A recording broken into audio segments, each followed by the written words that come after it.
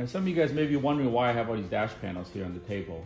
Um, I wanted to do a supplemental video because last time we talked about all the dash panel options and what you need to pick depending on what your requirements are because every NSX owner is in a different position. Uh, today I wanted to go through that a little bit better because uh, we forgot to cover the recessed double DIN panel, which is what our original design was. So let's go through each of these panels real quick. And then if you guys have questions, you know, you're welcome to call us and we'll explain it to you over the phone. But essentially, uh, when you purchase an NSX, some NSX owners, they buy pristine cars that have absolutely no problems. They have the original dash panel, they have everything in the car, but they want to preserve everything because, you know, pretty much the NSXs are going to be collectibles these days. So if you got one of those pristine NSXs and you want to put a double DIN radio in the car and you're just thinking, what's the best way to do it? I don't want to hack up my panel. Uh, best way to do is just pick up one of the uh, full carbon double DIN panels such as this one. This is our probably our latest version. Uh, we've gone through a lot of different options and different um, designs, but this one we've settled on is because it's, it's super light, it's super strong, and the best part about this is you get to keep your original panel. So you keep that panel tucked away, drop this panel into the car, put your double DIN in with a bracket, and you're ready to go. Transfer your your shift boot, your coin tray. This thing has all the original OEM attachment points, so there's no glue in anything, everything bolts right on. You see in our other videos how they're installed in the vehicle, so they fit perfectly. Uh, this is probably the easiest solution. This panel is available in both gloss carbon, which you can see here, all these panels are gloss, or the optional matte carbon finish. The matte finish, the bonus, it does match the OEM parts. So if you don't want to replace, let's say the upper vent trim on your car, and you want to do the OEM trim, you can get a matte panel and it matches pretty well.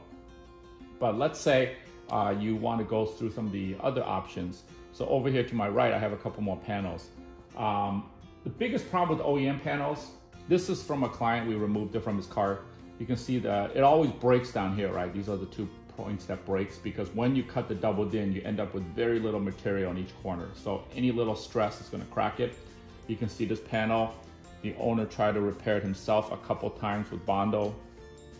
But the thing with Bondo is over time, it's gonna crack again. So even though this panel has been repainted, fixed, it's still cracking, you can see. So if you had a panel like this in your car existing, and you said, hey, I wanna use that panel, well, you can send this panel to us. We can do all the difficult work, stripping, removing, making the double DIN hole. We can delete the ashtray, which is what most people opt to do because when you delete the ashtray, you have a little bit better spacing. But if you say, hey, I really want to keep my ashtray, that's what we did here. You could keep the ashtray and do the panel, make the opening, we'll finish it in carbon. So that's one option. Um, the other option is, let's say you want to go with, let's say a Wilman radio mod or something, and you want, you have the original panel, but it's all flaking off, send it to us. We can refinish it and it looks like this. So this is pretty much an OEM panel. Use the OEM cassette player, OEM ashtray. The only difference is it's all finished up in carbon overlay. So Lastly, if you did want the recess panel, I don't have one here on the table, but let's go take a look at this real quick clip and then I'll come back and show you what the advantages are.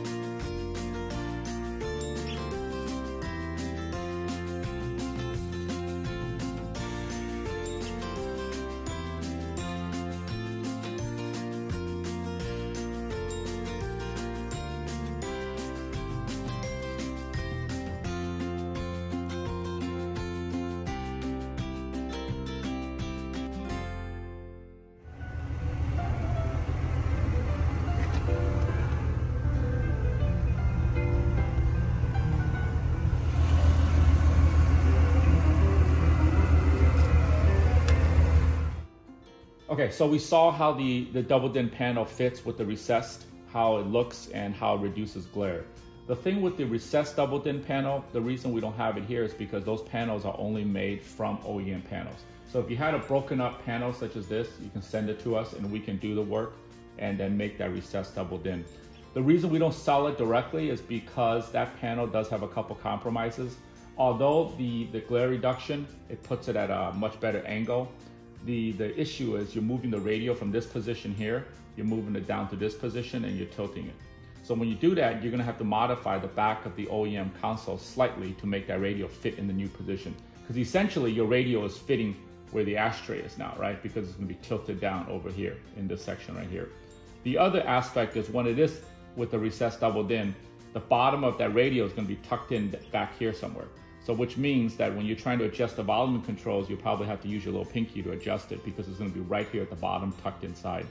So those are some things that, you know, with the recessed double DIN, uh, you might have some issues with. The other issue is because you're putting it in a, in a, in a tunnel essentially, uh, certain radios don't fit. So only certain models of these radios will fit in that recessed double DIN tunnel as you saw in the, the pictures earlier.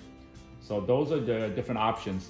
Um, if you want the easiest option, just pick up the full carbon panel from us, matte or gloss carbon, pop it in your car, you're ready to go. You can keep your original panel. If you must have your ashtray, the only way to do it is to send us the OEM panel. We will modify it to make it look like this. We can also refinish your OEM panels if you wish. And lastly, you have that recessed double DIN panel, which if you want it, we can build it for you uh, as a one-off. So you tell us what radio you're gonna use, you tell us what panel you're gonna supply us, and then we'll do all the work. And that's what you see in the, the pictures following this.